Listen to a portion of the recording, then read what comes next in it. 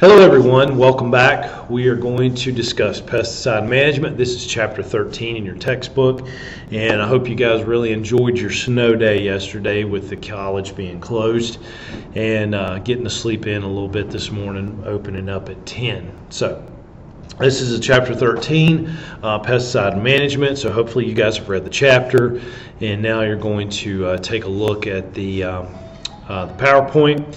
And I do want you to know that I am going to um, give you a little bit extra time on the labs that are due for these past two chapters.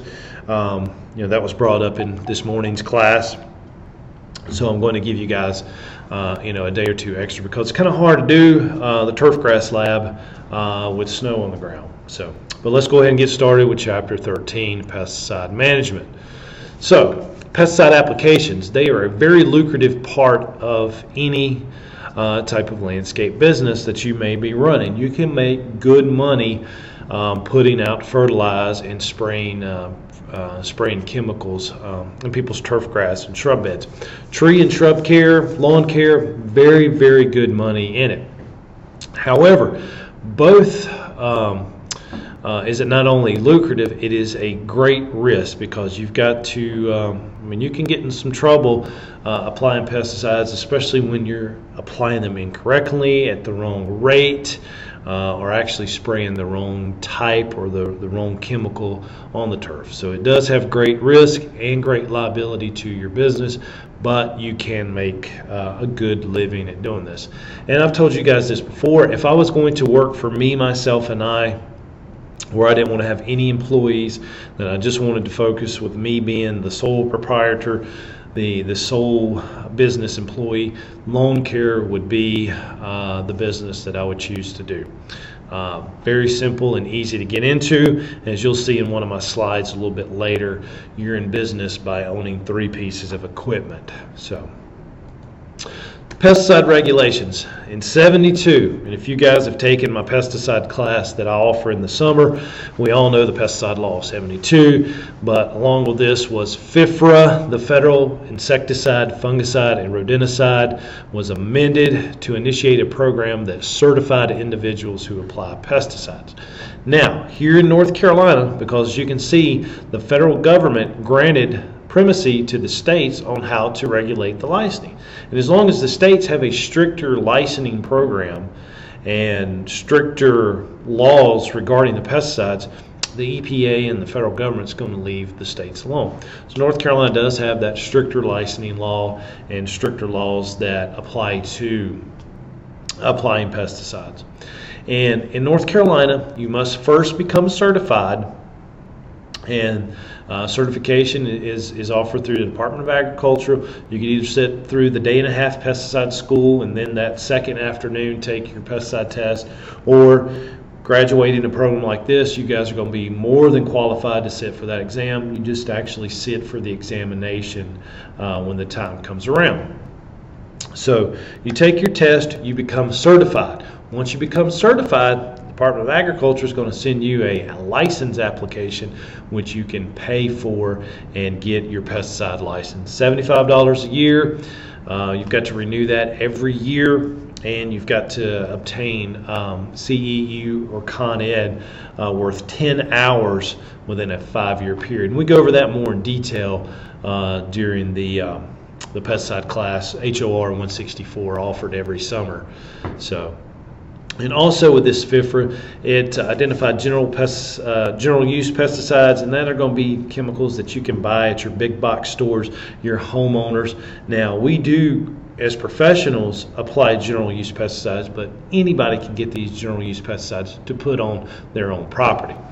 And as far as restricted use pesticides or RUPS, uh, these are pesticides that you must have a license or be certified to apply. So you've got to be the, you got to have the certification and the license to actually uh, apply these restricted use pesticides. And homeowners aren't going to be allowed uh, to buy restricted use pesticides. They're going to only be sold, uh, sold uh, at chemical companies or landscape um, places that's generally not open to, to the public. And if they are, they still can't buy restricted use pesticides, not even to put on their own personal uh, lawns.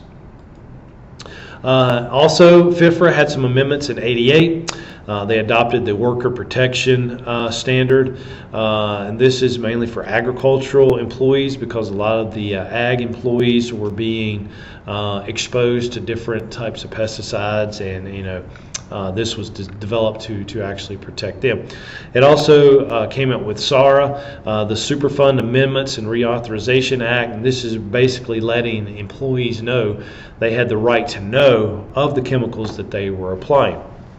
And also, it came out where every applicator and, and dealer and everybody that you know dealt with pesticides have to maintain uh, material safety data sheets. And I was recently told by a student this morning in class that they're no longer called material safety data sheets. He was going to bring me some information on that. It's they dropped a, a name out of that, but for now we will stick to MSDS sheets, uh, material safety data sheets.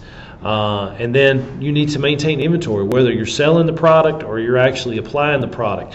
And what I always did when I was spraying chemicals, I'd keep a three-ring binder notebook uh, in my truck, and let's say I was spraying, uh, spraying Speed Zone uh, in late March, early April for weed control. I would print the label off the internet or I would get it from the dealer that I purchased the pesticide, put it in my three ring binder along with my material safety data sheet, and I'd keep a log about how much uh, chemical that I was applying. Uh, speed zone wasn't restricted use, uh, but still, if I got pulled by the uh, the pesticide police, I would want to make sure that I had the information uh, necessary to give them. You always got to have that label and you always got to have that MSDS sheet and you need to make sure that your sprayer especially if you're using a lot of backpacks you know if you've got two or three backpacks make sure that you have the backpack labeled uh, you know with uh, broadleaf herbicide or whatever you're whatever you're putting uh, in the uh, in the uh, the backpack. Make sure you have all that data kept up. We also kept an inventory of the chemicals we kept there at the shop. Uh, we'd keep one in the office, and then we'd keep one uh, elsewhere just in case um, you know, a fire in the office or something like that. In case of a fire, you're supposed to be able to hand that inventory list to the local fire department and let them know what they're dealing with if your shop with uh, your chemicals is burning. Again, we go over that more in HOR 164 in the summer. All right, the pesticide label. It is the written, printed, or graphic matter on or attached to the pesticide or any of its containers or wrappers. The pesticide label constitutes a legal and binding contract between the applicator and the chemical company prohibiting the use of the pesticide in any application or procedure not consistent with the label. So, a lot of information here, guys, but what I'm going to do is break it down for you. What we see right here is Zapit. This is just a generic label that's going to be printed on the bottle. Let's say this is my pesticide bottle. You know, this is my water, but the actual label would be printed onto uh, the container. Think of a Coca-Cola bottle. It's got that cellophane wrap around it with the name Coca-Cola on it. That's the label that's on the bottle. Your labeling is all other information, whether the dealer that you bought it from or an ag agent give it to you. That's could be in the book form, could be in a pamphlet form. It just depends on what the chemical is. So let's take Roundup for example. We've all seen Roundup uh, in, in, in the big box stores and in the ag stores, and anybody can buy Roundup. Roundup has that cellophane wrapping around the two and a half gallon jug that says Roundup. Well, that's your label. It's going to have caution, the directions for use, the EPA registration number, the active ingredients, all that's going to be on the label. But also on that two and a half gallon jug, there's a there's a like a slit inside of the uh, side of the container that's got a pamphlet, a booklet. It's about that about that big and it's about that thick, and that's got all the labeling information um, pertaining to that pesticide. So you have the label and you have the labeling. And we can see here Roundup. Now, before we get into this label, I do want you to note that uh, your book on page 293 has a good example uh, for bug splat. And it's a 60 uh, water dispersible granular. And it's an insecticide. So please pay attention. You know, it's got 1 through um, 1 through 10D for it. So please, please pay um, uh, special attention to that. I wasn't going to scan that in and talk to you about it because the book does go over this uh, in, in, in detail. But I wanted to show you Roundup here. And the one thing I think people probably get most confused about is, is the names. We have the trade name. We all know Roundup to be Roundup.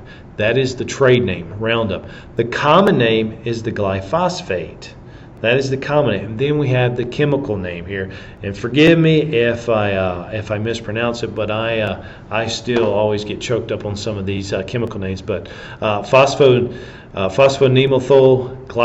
That is the chemical name of Roundup. So we have three names that we're going by trade name, the common name, and the chemical name. And then you know we can see that is the 41% of the chemical, and then other ingredients uh, are 59%, giving us a total of 100. And these could be the inert uh, ingredients here. So I wanted to, to specify that out for you uh, with a clear, clearer label than what's in the book. But still, please pay uh, close attention to what the book is talking about with that label on page 293. All right, here we have uh, table 13.1. This is just some examples of um, formulations that we could use in pesticide. Again, HOR 164 goes over this in detail, uh, but we've got some wettable powders. Uh, we have some dry flowable, and then we have some water dispersible granulars. Then we have some emulsified concentrates. We have our liquid flowables. We have dust, and we have granulars and pellets uh, that we're going to be uh, putting out. My favorite, always and foremost, is the granular. Less mess, less uh, chance of spill or accident. But you know, as a lawn care operator, put out a ton uh, of granular. Haven't done much with dust. Um, done some ECs and done uh, quite a bit of flowables. Probably flowables and granulars would be my two favorite that I'm going to be putting out. Uh, and this is just a chart, you know, pay attention to that. It's got the uh, phytotoxicity, effect on application equipment. Um, you're going to experience this a lot if you do lawn care for, for a living. You're going to be replacing nozzles and tips in the nozzles, uh, you know, quite a bit throughout the throughout the season. Uh, agitation required, meaning you're going to have to mix, uh, you know, keep the tank mixture mixing. It's going to be agitating. Um, visible residues, you know, those are um, kind of bad in certain situations, especially if you get it on somebody's sidewalk or the driveway and things like that. Uh, compatible with other formulations, you know, if it's good or fair. Um, and then whether it's, you know, um, expressed as a percent, pounds per gallon, uh, or again percent. But again, pay attention to the formulation itself, the label abbreviation, wettable powders, dry flowable, water dispersed granulars, uh, emulsified concentrates, flowables, and then a dust, and then granulars and or granules and pellets. Now, the pesticide label. Again, this is going over in the book. Uh, we're going to have the product or trade name. We saw in the Roundup example that Roundup is the trade name. We've got the active ingredient. We've got the type of formulation that we just saw on table 13.1. And then we have the type of pesticide.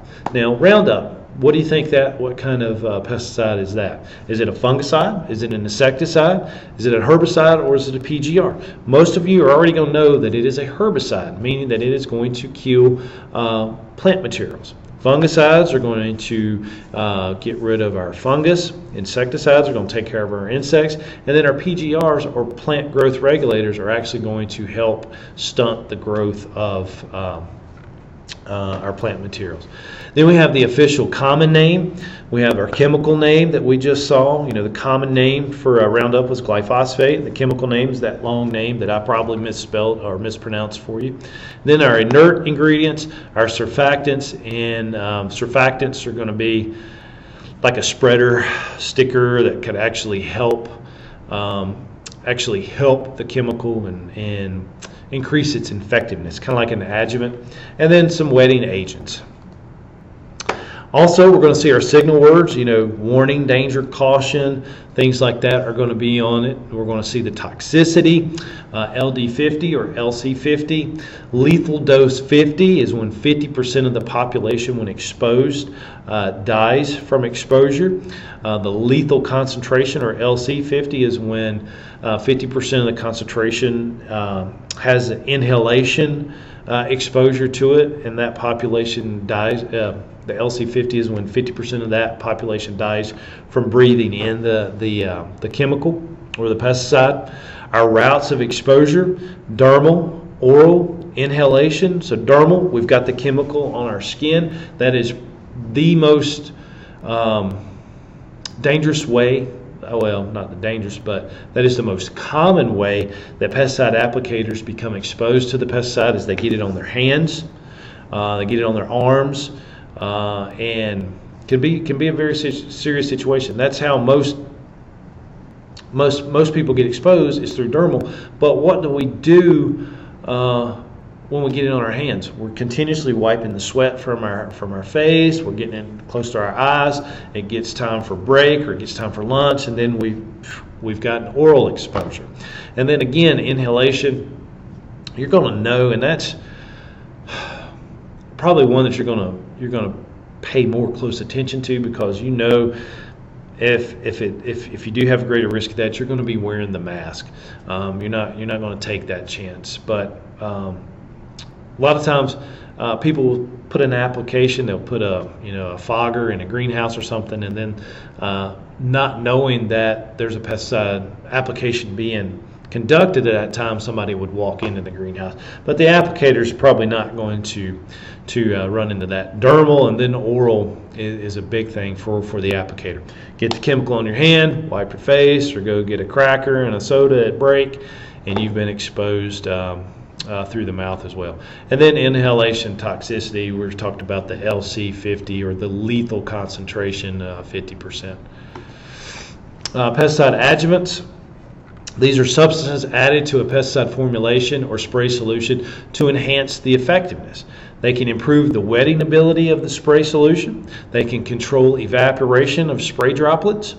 They can improve the pesticide persistence. They can increase foliar or insect uptake. They can adjust the pH of the spray solution. They can improve spray droplet coverage. They can increase safety of the spray to non-target plants or animals. They can correct the spray tank incompatibility problems. They can reduce spray drift, a big problem, uh, especially uh, in, in agricultural. You know, when you're spraying larger uh, fields, uh, there's no no coverage or whatever. A little bit of wind comes up, and you've got spray drift happening. And then mark spray pattern, dyes or, or colorants. Now I've used a lot of uh, of tracker dyes. Um, and the bad thing about that, you're going to see how much chemicals actually getting on you. Uh, I always used to mix uh, tracker dye with my Roundup spraying weeds because I just wanted to know know where I'd been. Doing a lot of larger commercial sites, I didn't want to double track. And you know, at the end of the day, uh, my T-shirt would be blue on the back or the straps where I had it. That much spray and just mixing and sloshing uh, would get on my back. And then I'd take my t-shirt off and I would actually look like Papa Smurf uh, looking at me from the back where I'd had the blue tracker dye gotten on me. So it helped me realize that I needed to take better um, better care of my equipment and that I needed to uh, to make sure basically not to fill the backpack sprayer up so much. Cause I had a lot of sloshing and where I didn't get the lid on tight, I had it leaking down my back. So that happened to me several times. And I had a student this morning ask me about Roundup. He got some on his leg. Is it harmful? Well, it's not good for you, but it's not going to kill you. I've, I've had many chemicals spilled on me, and I'm still standing here today. Uh, whether or not it may affect me later on in my career, who's to say? But I've been exposed to, to some to some bad stuff before, and I'm still here. Uh, pesticide application equipment. And I wanted to put these three up here first. I didn't go in order of the book. The book starts talking about our, uh, our equipment on page 299. But with these three pieces of equipment, ladies and gentlemen, you can be in the lawn care business. A solo backpack sprayer, an earthway seeder, and a Lesco uh, fertilizer spreader. Now, a student again this morning asked me, um, do you necessarily have to have these brand names? No. I put these up here because my job is to teach you what I've had the most luck with, and these three pieces of equipment are probably my favorite in within the lawn care industry. You know, with a pickup truck, a backpack sprayer, an earthway seeder and a fertilizer spreader and a few bags of fertilizer and chemical in the back of your truck, you are in business. very, very, very inexpensive. You know, uh, 150 bucks for a good solo. You know, look for 100 bucks for the spreader, and you know 300 or you know a little more than 300 for the spreader. So a little more than 500 dollars, you are in business within the lawn care industry. So just wanted to put that in there. Again, this is a backpack sprayer. This is a seeder. Um, what else does the uh, the book called it? A hand operated granular applicator, and then we have our centrifugal spreader here, or rotary spreader. Here is a truck mount. Uh, this is actually what you call a skid mount that you can slide into the back of a pickup truck, or you can mount it to uh, to a flatbed trailer. Uh, I own this piece of equipment here personally. Uh, it is a very good way to to apply. Um, broadleaf weed control and and when you're spraying out a lawn um, to totally eradicate it. And then we've talked about spraying out the turf late July, early August, uh, so we could seed it uh, in, in, in, September. You know, you could put Roundup, knock this out, and be done with it quick. But I would mix like Speed Zone, and I would, you know, just spot spray the yard, you know, the yards. You know, pull the hose behind my neck, spot spray it. I do not like to mix my fertilize with my pesticides uh, because I'm one that's I, I, hate broadcasting the whole yard. If I put my liquid fertilizer in there, I have to spray the entire yard that I've put my pesticides in with. So if I just mix my pesticide to control my broadleaf weeds, I can pull the hose off and then I can actually just spot spray and I could keep that tank mixed up. And then I'd put out my fertilizer granularly with my centrifugal Lesco spreader. Uh, here are some other pesticide equipment. Uh, here we have the controlled droplet uh, applicator or the CDA. As you can see, that disc is rotating and the, the, the, the, the, um, the liquid is hitting it and it is throwing it. Here we have like a duster, it's on top of a backpack blower. Here we have uh, a mechanical powered uh, backpack sprayer. I don't know why anybody would want to use this. I mean, I'd soon just have the hand wand because you've got to carry the extra weight of the motor and the gas. And then we have our um, um,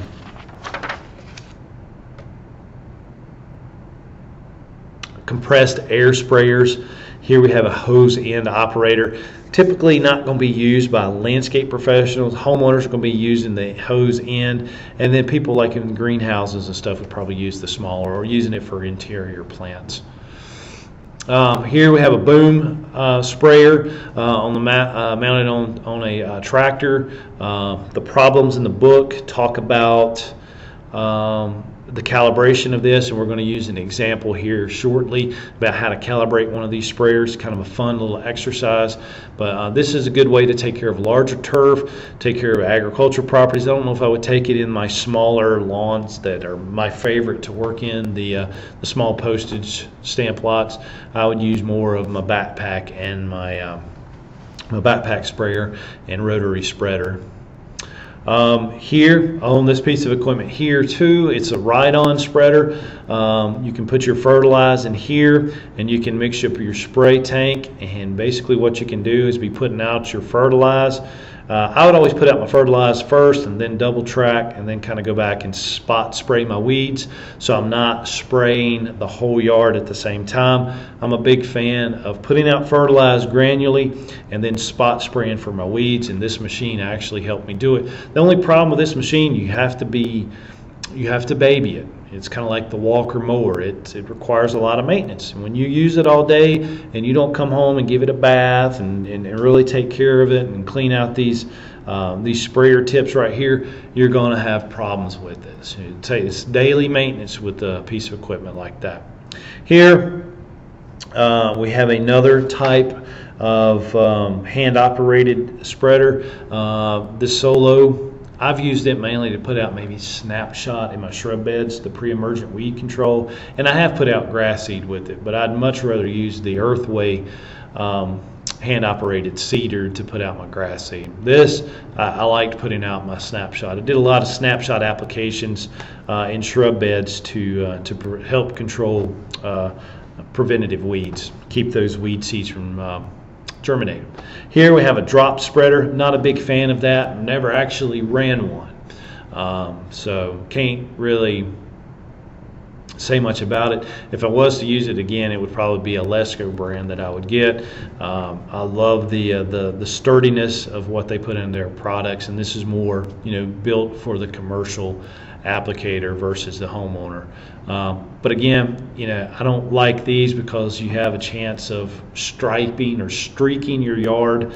You know, it's only going to get below it, dropping below. So if you're not right on it, or if you're overlapping, you could get more than needed. So it's just a lot, e- lot harder uh, to operate than the uh, the centrifugal uh, um, spreader. All right, calibration.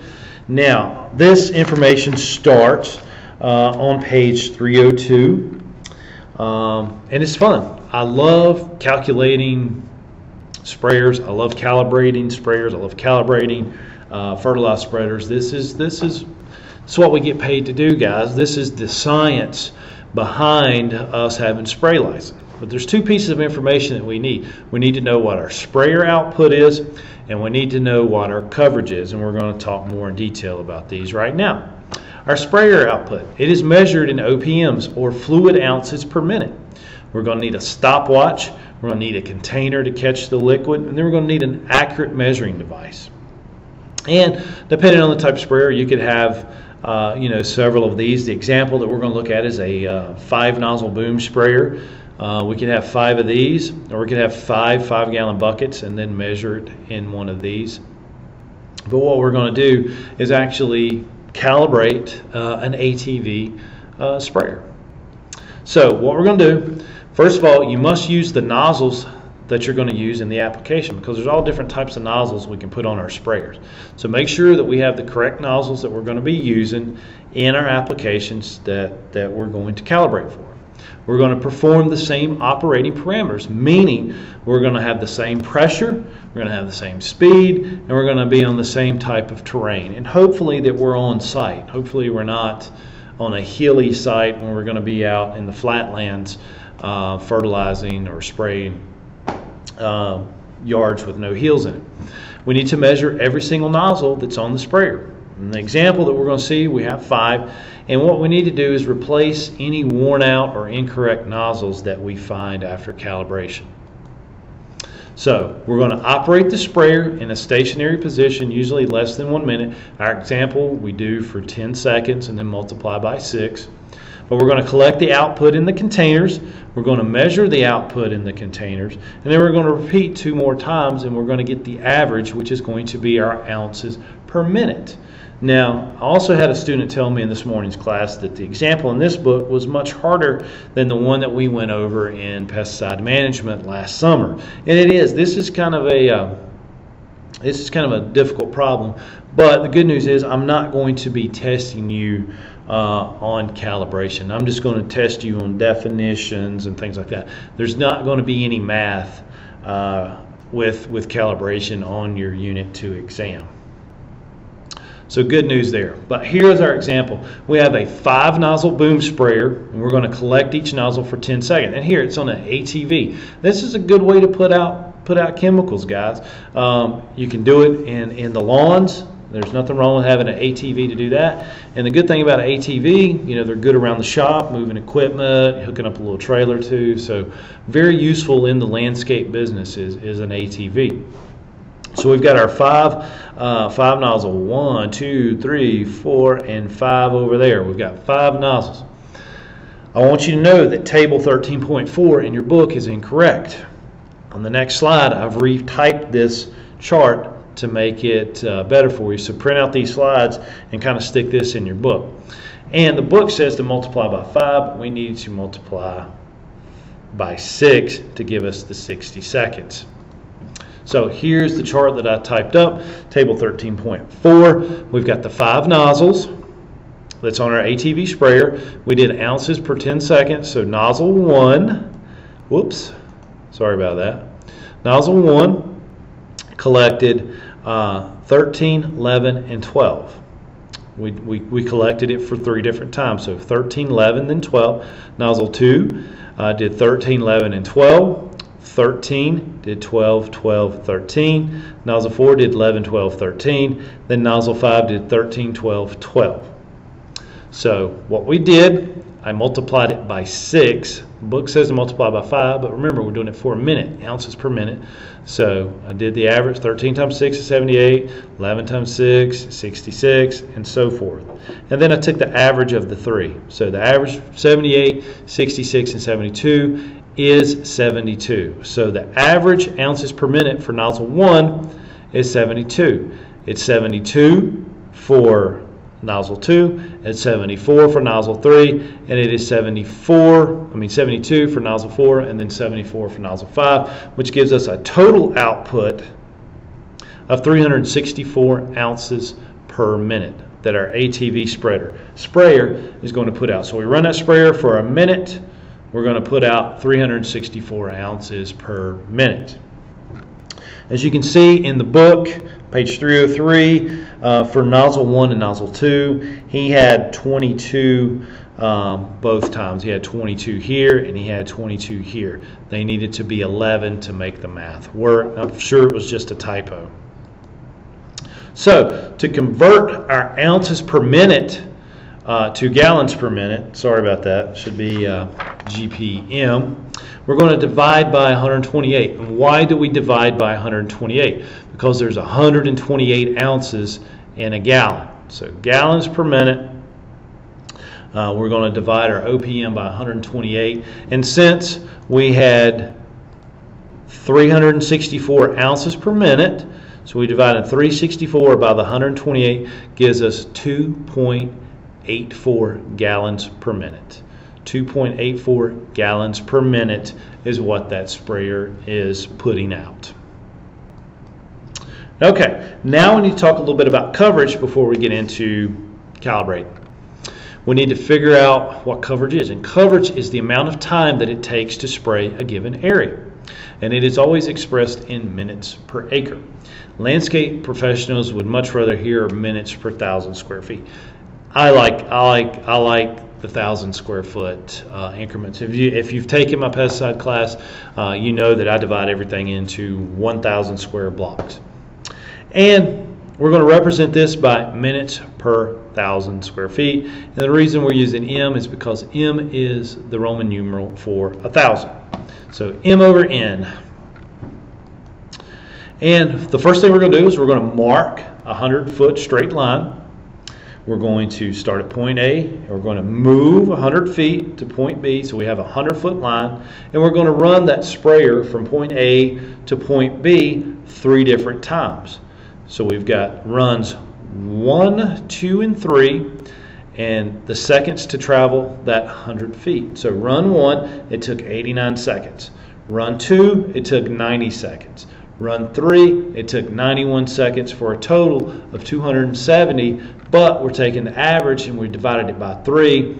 So we're going to get 270 divided by 3 gives us 90 seconds average for that 100 feet. So from point A to point B, it's taking my sprayer 90 seconds or a minute and a half to do 100 feet. Well, next step is to calculate the effective spray width. And this five nozzle boom sprayer has a width of 10 feet. So 10 feet. I mean, it's a little bit longer, uh, longer than this, but it's 10 feet. And we know that it takes a minute and a half, or 1.5 minutes, or 90 seconds to cover from point A to point B. So to determine coverage, multiply the linear feet, which is 100, traveled by the effective spray width. So we have 100 times 10 in a minute and a half. So our minutes per thousand square feet is 1.5. So to do a thousand square feet, because our spray width is 10 feet by 100 from point A to point B, we have one point, uh, it takes 1.5 minutes or 90 seconds uh, to cover a thousand square feet. Now, to determine minutes per acre, we're simply going to multiply our minutes per thousand by 43.56, which is a constant. And as we can see here, worked out. 1.5 times 43.56 is going to give me 65.34 minutes per acre. Now, the output is in ounces per minute or gallons per minute, and the coverage is in minutes per thousand or minutes per acre. They're multiplied to obtain the amount of water applied per unit area. For example, ounces per thousand square feet is equivalent to our 364 that we calculated, ounces per minute, times the 1.5 minutes per thousand gives us 546. Our gallons per acre is 2.84 gallons per minute, which we calculated, times the 63, 65.34 minutes per acre, which gives us 185.56 gallons per acre. So our sprayer will deliver either 546 ounces per minute or 185.56 gallons per acre. Good, good math problem there. Please go over it a couple of times, you know, kind of understand what we're going. If you haven't taken pest management, this will help out in the pest management class this summer. And you guys should really understand this if you've taken pest management. But I know we didn't look at a problem like this uh, during the summer, but this is a good, good example of calibrating a um, an ATV uh, sprayer. Or it could be any type of sprayer. It could be a five boom sprayer on a little lawn tractor. All right, calibration of granular application, uh, granular application equipment.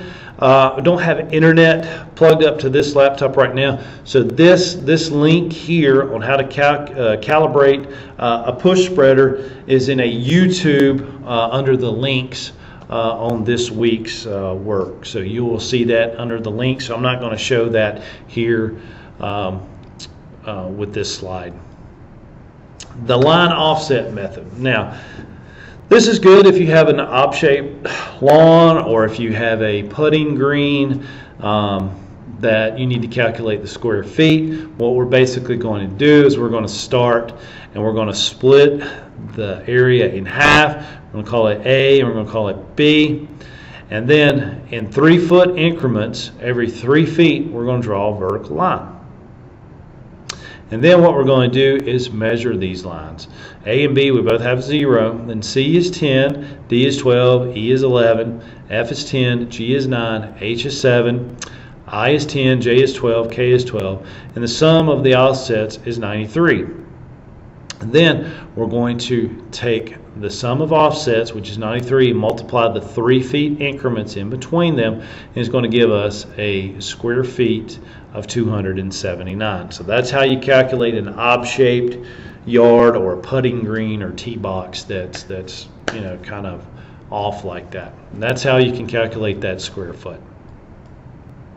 And before we close it, please pay attention um, to the geometric shapes that are on page 308. We should all know the area of a box. We should all know the area to, uh, to calculate trapezoid, triangle, uh, area of a circle, and the area of an elliptical shape because these could all be um, shapes that we run into our lawn care profession. And please, please stop being jealous of the grass on my side of the fence. Get out and get some fertilizer and make yours greener. A little humor to end this chapter. Guys, I will have your lab up shortly. I'm also going to put up a um, short tech tube video for your lab this week on how to use Forsyth County geodata. It'll be a short, quick um, video. It's just me running through a rental property that we have uh, that you can pull pictures and actually pull square footage of the lawn. So um, that being said, have a great weekend. Maybe uh, we'll get a little more snow and uh, let's watch that Duke Carolina game tonight. Thanks and have a good one.